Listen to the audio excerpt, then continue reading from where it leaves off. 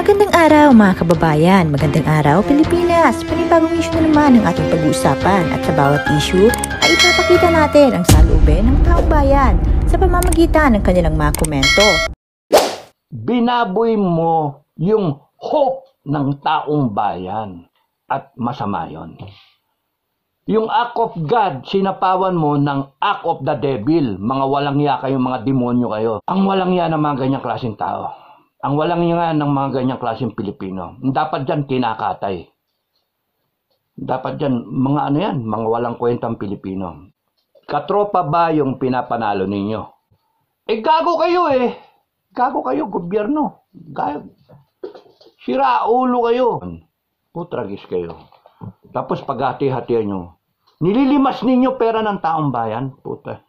Hayop kayo. May, may oras din kayo. May oras din kayo. Matatapos din kayo. Mga walang niya kayo. Dapat sa inyo, isiga eh. Sigaan. Dapat sa inyo, itulo sa isang steak. Parang Joan of Arc, sindihan kayo. O talupang kayo, mga animal kayo, mga hayop kayo, mga walang kwentang Pilipino. And wala pang nakukulong. And baka walang makulong.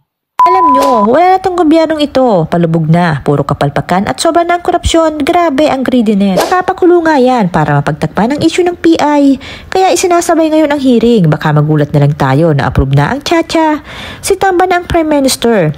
Kaya dapat wag tayong manahimik. Maging mapagmatyag tayo. Kasi di naman kaya kasuhan yan sa Robles. Kaya ni Lisa Ahas, may record pala yan sa ombudsman nung nasa LRT pa yan.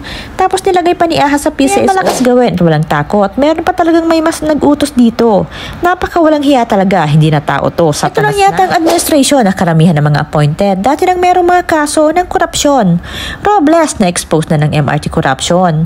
Robio na expose ni Lacson bagman ng custom dati.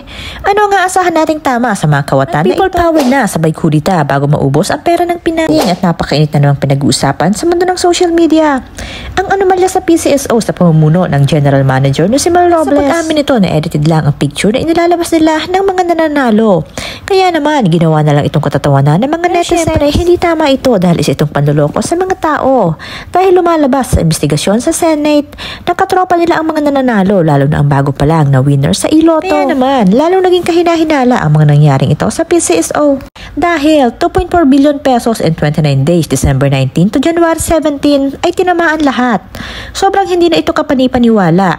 Ngayon lang nangyari ito sa history ng Pilipinas. Katropa ba yung pinapanalo ninyo? One month or less than a month, December, yung buong 1.7 billion, lima na na loto categories, 42, 42, 45, 49, 55 at 58. Tinamaan lahat yon. Binaboy.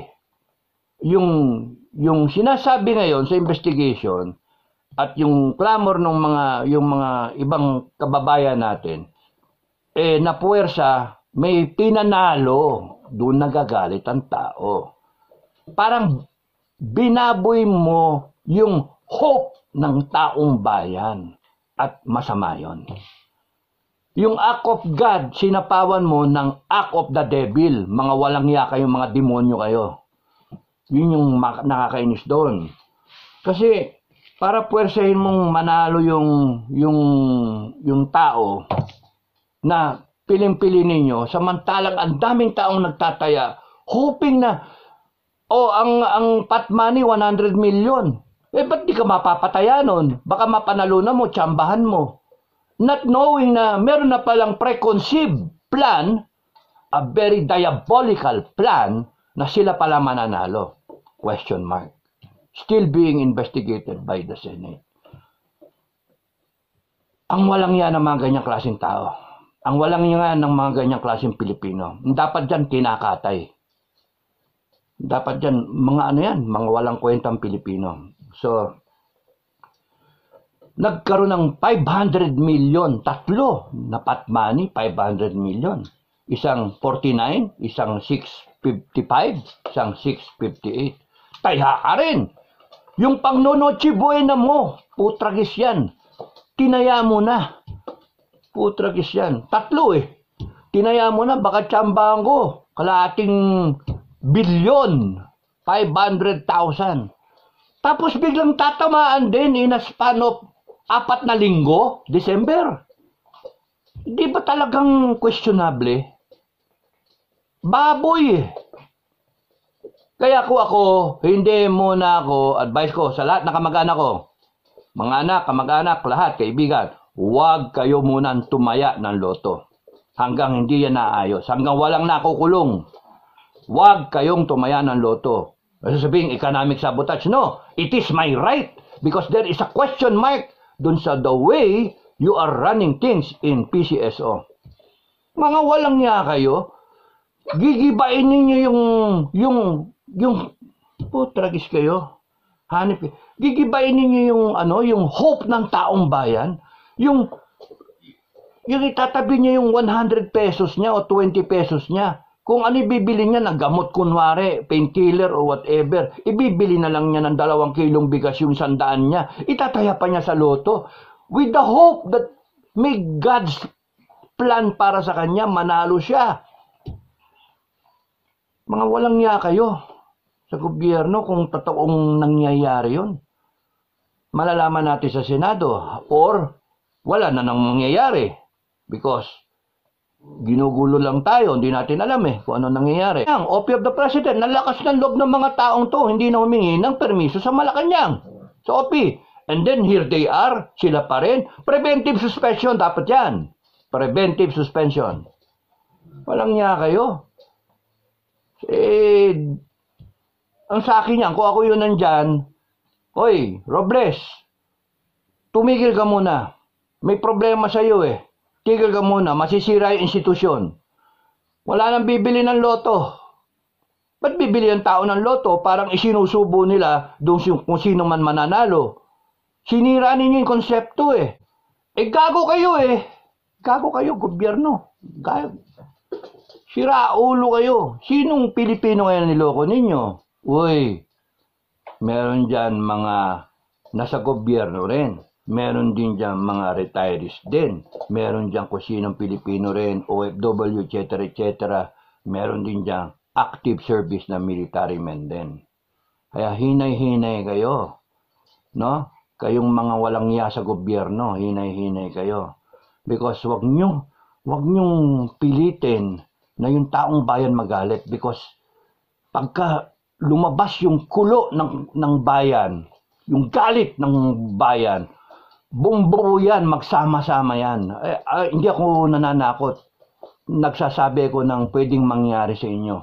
Bumbuo yan. And then they will, they will accept the concept of a people's revolution. Yun ang nakakatakot doon.